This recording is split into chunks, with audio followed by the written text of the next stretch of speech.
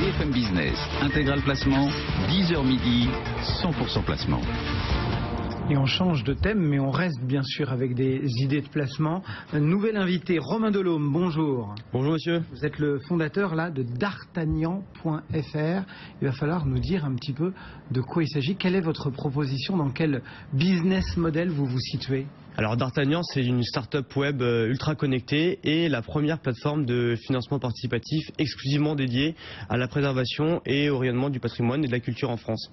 C'est-à-dire que nous aidons euh, les acteurs du patrimoine euh, à trouver euh, des fonds nécessaires grâce au mécénat 2.0 et également à se moderniser en apportant un peu de numérique dans de l'historique. À, à, qui ça s'adresse exactement ce, ce, ce, ce d'artagnan.fr Ça s'adresse à tout le monde au final. je pense tout d'abord aux associations qui se battent quotidiennement pour préserver le patrimoine très riche de notre pays et, et, très, et très, divers. ça s'adresse également aux particuliers qui sont attachés à leur commune, à leur région et qui souhaitent à travers des dons euh, participer, devenir des acteurs de l'histoire quelque part, euh, à travers une affectation de leur épargne directe. Et enfin aux entreprises euh, qui souhaiteraient bah, allouer une partie de leurs bénéfices annuels à la préservation de la culture et du patrimoine, le faire rayonner et en tirer quelque part un bénéfice en termes de communication et d'image, aussi bien interne pour leurs employés, montrer que les patrons ne sont pas forcément que des capitalistes mais qui sont aussi des philanthropes, et également en termes de communication extérieure. C'est ça, vous avez prononcé le mot, on est vraiment là, euh, tout à l'heure on était à la limite entre la consommation et le placement, là on est entre euh, le placement et la philanthropie, enfin c'est vraiment un, un, on va dire un investissement désintéressé. Tout à fait. Voilà, il n'y a pas de, bénéfice euh, économique à retirer de ça, si ce n'est euh, un bénéfice personnel, euh, c'est-à-dire de participer avec nos moyens propres à la préservation du patrimoine à travers des micro-dons ou des dons plus importants pour ceux qui le peuvent. Euh, le seul intérêt économique qu'on pourrait en retirer, ce serait éventuellement la défiscalisation pour des projets d'intérêt général. Euh, on peut défiscaliser à hauteur de... Par exemple, je donne 100 euros pour euh, sauver les tuiles de mon clocher à la campagne. J'ai un reçu fiscal qui me permet... Tout à fait, un reçu fiscal qui vous permet de défiscaliser 66% du montant de votre don si vous êtes un particulier et 60% si vous êtes une entreprise. Comment est-ce que vous trouvez les projets? Parce que je vous, demandais euh, à qui ça s'adresse. Effectivement, on avait un côté de la balance là et, et de l'autre. Qui est-ce qui apporte les projets? Euh, Ce sont euh, bah, les, mairies, ce sont les, propriétaires privés. Qui, vous fournit les projets.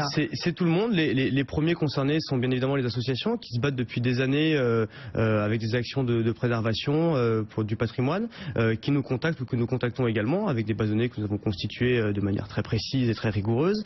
Les mairies peuvent depuis quelques semaines maintenant faire appel au financement participatif. Il y a un décret qui a été adopté fin décembre qui permet à une collectivité territoriale de faire appel à une entreprise privée pour gérer leurs dons. Donc ça c'est quelque chose de complètement nouveau euh, et je pense que c'est vraiment très intéressant aujourd'hui euh, dans la mesure où euh, bah, les fonds publics baissent de plus en plus. Et les besoins pour sauver le patrimoine bâti, c'est assez lourd, donc voilà, c'est assez intéressant. Est-ce que vous avez quelques exemples euh, pour illustrer finalement votre propos euh, depuis que vous agissez, c'est-à-dire depuis, euh, depuis quand euh, D'Artagnan Depuis moins d'un an, on s'est lancé fin février 2015. Euh, on a porté une, une, vingtaine de projets sur la plateforme à peu près. Avec quel, quel type de projet par exemple? Euh, bah, Par exemple, un projet actuel, c'est quelque chose dont on est assez fier. c'est à l'abbaye royale du Montcel à Pontpoint en Picardie.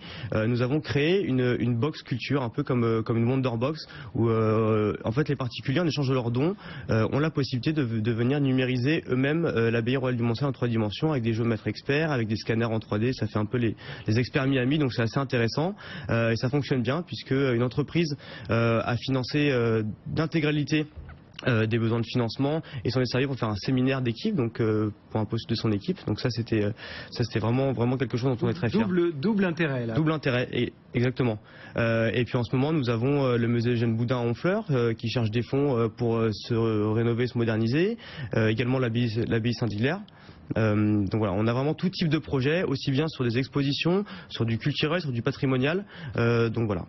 Eh bien voilà, la philanthropie fait aussi partie de ce monde euh, des placements. Euh, merci beaucoup d'être venu nous présenter d'artagnan.fr. Son fondateur Romain Delhomme était avec nous. Bonne journée. Merci.